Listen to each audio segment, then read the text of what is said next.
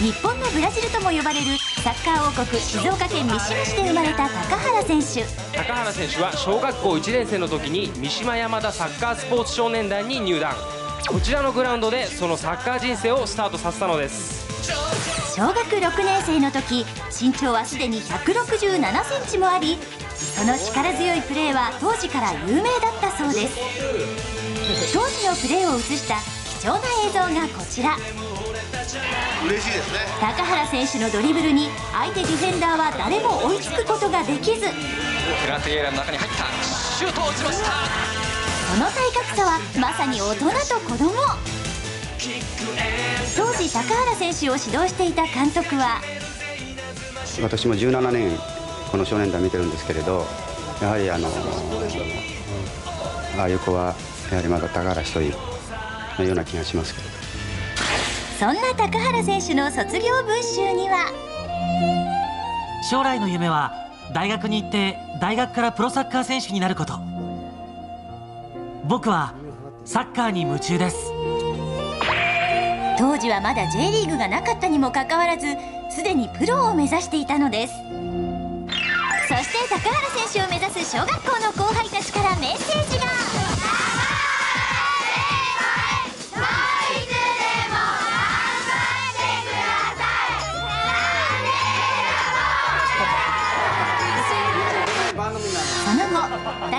選手は東海大学附属第一中学校に進学。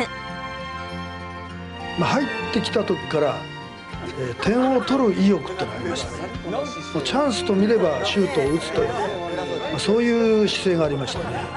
性格的には高原選手というのはどういう性格なんですかね？シャイでした。点を取って帰ってきてもなかなか派手なあパフォーマンスをしないとし下を向きながら恥ずかしそうににやりと笑うと、まあ、そんな印象が強かったですね。高校はサッカーの名門清水東高校に進学。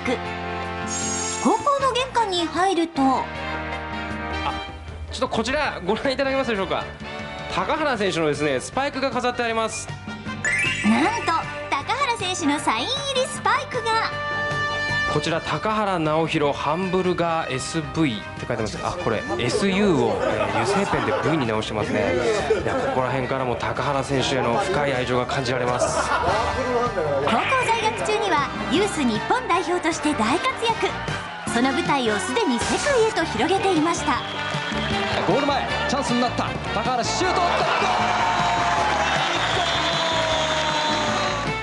この頃にはすでにたくさんのファンがいたという高原選手えー3年のそうあの文化祭でクラス展をやるときに客を呼びに行かなきゃなんですよ。客集めを。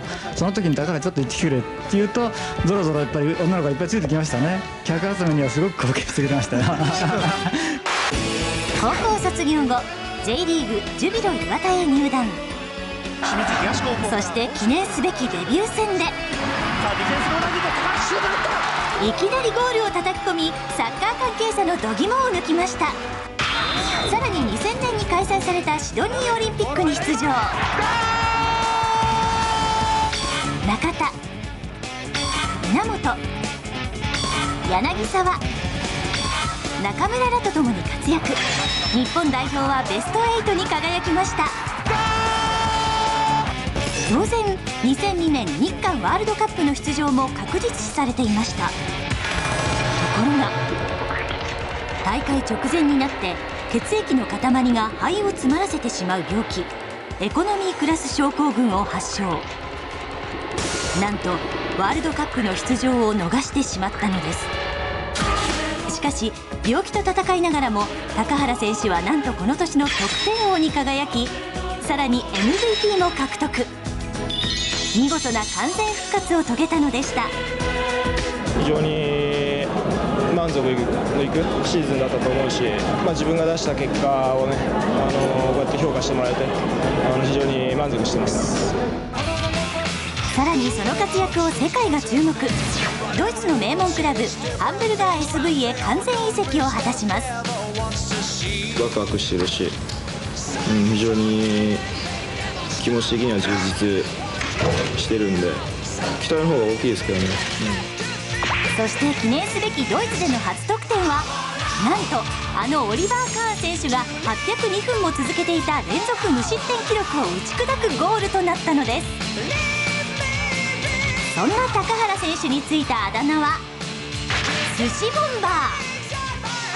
来シーズンからはさらなる活躍の場を求め同じくドイツの強豪チームフランクフルトへの移籍が決定しています。に去年の年末にはプライベートでもビューティフルゴールを決めました。